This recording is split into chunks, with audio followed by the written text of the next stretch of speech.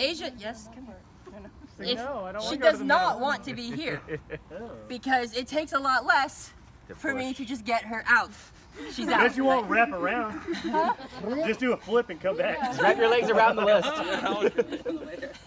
Armor But if all. she comes over here to where there's something solid, I can't just push her out because she has a rail here. So I have to work a throw. So they like stepped on him. So this is, especially if you're shorter, even me, this is not ideal for me. I can still get folded under here. Yeah. I resist pretty well, but eventually they're gonna get me. I want to be at least here where my hips can hit something. Right. Get folded in between that. It's happened. I've seen people get their heads stuck in those. It's funny. Nice. Oh. I love